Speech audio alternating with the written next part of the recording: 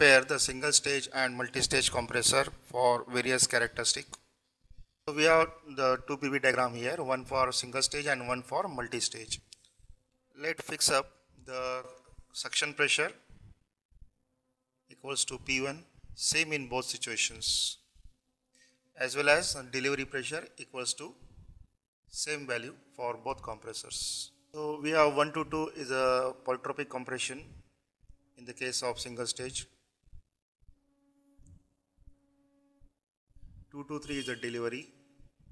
3 to 4 is the expansion of residual air. And 4 to 1 is suction. Let's say the polytropic law follows is P to the power n equals to constant. Expansion also follows the same law P to the power n equals to constant.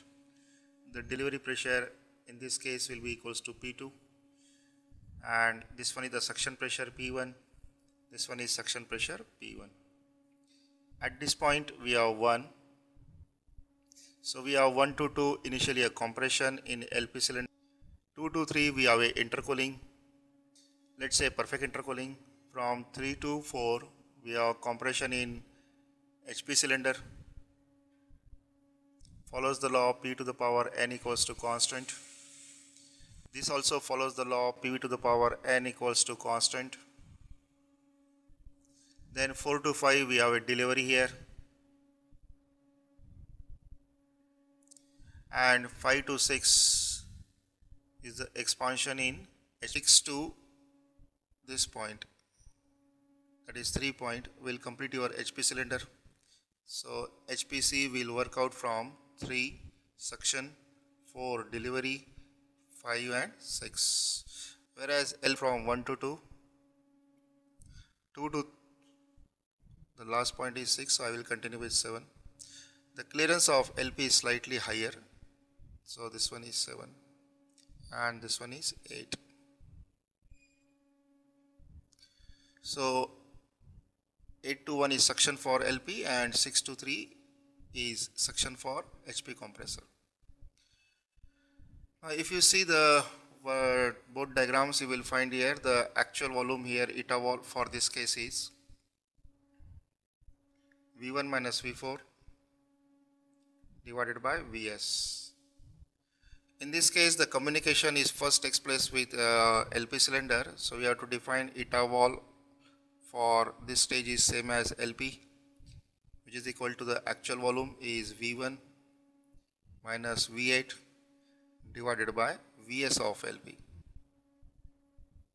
and this equals to 1 plus CL minus CL where CL is the clearance ratio of LP cylinder and is P2 by P1 to the power 1 by N where P2 I will take this pressure and P3 is this pressure. So this one is P3. The temperature rise in this case is T2 by T1 equal to P2 by P1 to the power not P2 it's a P3 actually. Point number 2 is on pressure P3 n minus 1 upon n. And temperature in this case is maximum is T2 and T2 is same as T4 for perfect intercooling. So we have T2 by T1 is equal to P2 by P1 to the power n minus 1. So very first advantage is that the delivery temperature in this case is this 2 and delivery temperature in this case is this 2. Now the pressure P2 by P1 is very large as compared to this P2 by P1. So here this is P3 by P1 so this P3 by P1 is very large as compared to P2 by V1 for this case so T2 has been successfully reduced in multi-stage compression and because of this one the air coming from this one is little bit cool so that we can increase the reservoir reservoir capacity because the temperature at this end is small as lower as compared to this side we can write this equation is equals to 1 plus CH 1 plus C rather than P3 by P1 to the power 1 by n. Now as far as the HP is considered, HP is given by eta vol of HP cylinder is V so suction is 3 and 6 so actual capacity is V3 minus V6 divided by the Vs of HP is equals to 1 plus CL CH minus CH into P2 by P1 to the power 1 by n. Now eta vol in this case is P3 by P1 and this quantity is subtracted from 1 plus C whereas P2 by P1 is small quantity as compared to P3 by P1 so there is the advantage of eta vol that is why the that is why the volumetric efficiency of this stage is more as compared to for multi-stage is always greater than this one. So first advantage is that eta vol has increased and the delivery temperature. I will say the delivery temperature has been decreased. So this favors the multi-stage compressor over the single stage compressor if the pressure ratio is very high. Secondly we have a mass plot equation which was given as P number of acting multiplied by actual capacity. Actual capacity is V1 minus V4 so this is P1 into V1 minus V4 divided by RT1 where T1 is the suction condition for this point 1 multiplied by N by 60 whereas for LP cylinder we can write down m dot. So we have to select the same suction point equal to 1 so it's a number of acting. Multiplied by the suction pressure is P1 multiplied by actual capacity is V1 minus V8 divided by R. Here we are selected the starting temperature is T1 so here also starting temperature is T1 into N by 60 now the same mass will flow through the HP compressor also. So we have same equation N acting. Now the suction is taking place for HP compressor at point number 2 so we have to multiply by P2 actual capacity is V6 and V3 so it is V3 minus V6 divided by R.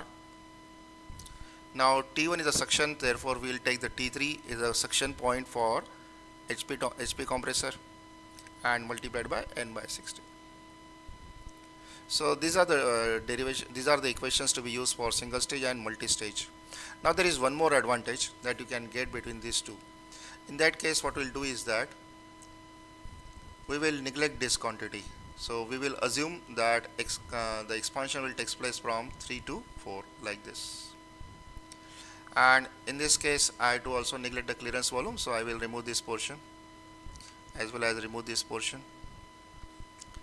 Let me cancel this also. So this one is my 5 this one is 6 same is 0.7 and this point is 8 point. Now what is the advantage here is that suppose I carry out my compression in single stage as shown in this figure. So I will call this point is 2 dash this is 3 dash this one is 1 dash and this one is 4 dash. This one over the single stage. So single stage will continue up to 2 dash point. and this is the extra work done in case of single stage as compared to multi-stage so there is an additional advantage that the the work done for single stage.